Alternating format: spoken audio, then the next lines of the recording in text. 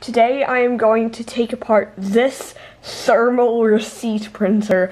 It's a little too big for my current camera setup, but if I open the paper bin, there's like, there's, um, there's a few screws, a detector that would detect the paper reel, an optical sensor down here, and some weird something that has an interesting pattern here. I think this is like the printer head that it's like thermal printer. I don't know how this works, but we are going to look at the electronics inside. So if we look at the back panel, there is a port that I don't know what it is. This which looks like a phone line, but it has a warning on it maybe don't connect it to your telephone or something, telephone line, and this is the power connector.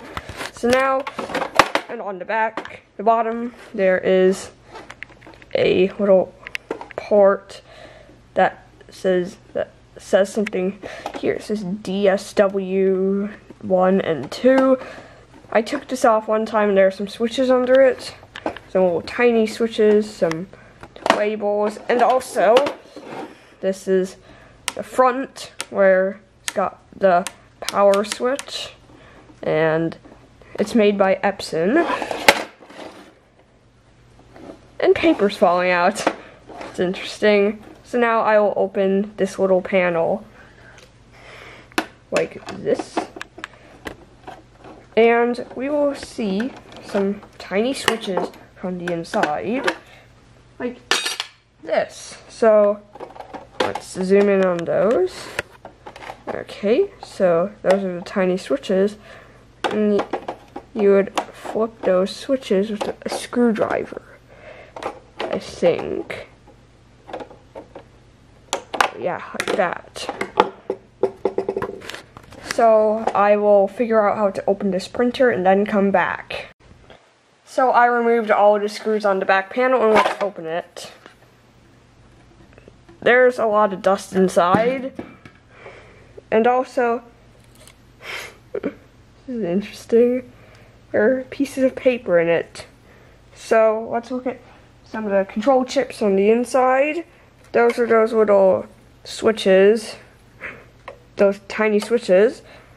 There is some connector here that I think connects with this port on the back. There are some chips here, a big chip right here, some more around here, and here's another interesting little chip down here.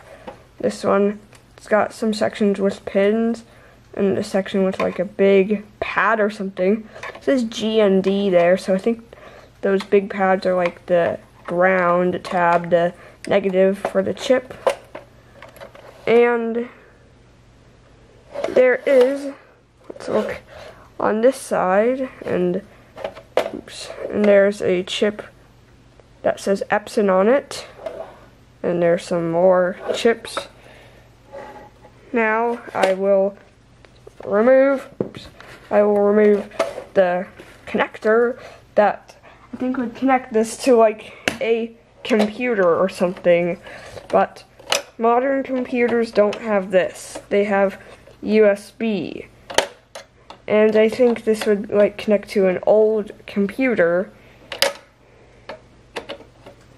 But none of the computers in our house have this connector.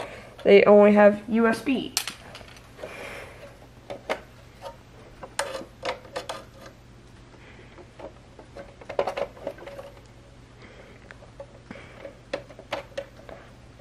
So I'm going to remove this module, which is held in with two screws. And and it is it's got some chips on this side, something here I don't know what it is.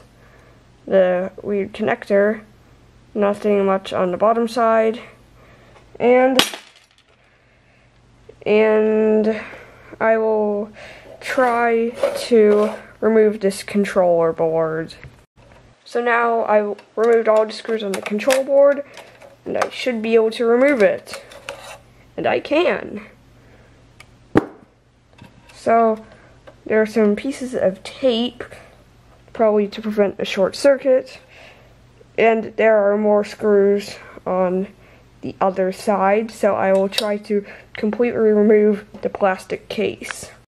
Sadly, I don't think I can open up the printer anymore, but there is an interesting thing right here. It says turn knob until you see triangle in the opening. So I was adjusting this little dial here, and you can get the triangle to move out of the opening. And if I move this wheel, this, if I move the wheel, this little blade moves. Like this.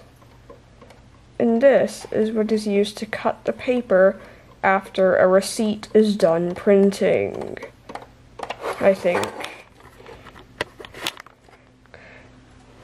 So this is what is inside of a thermal receipt printer, or this is the control board inside of it.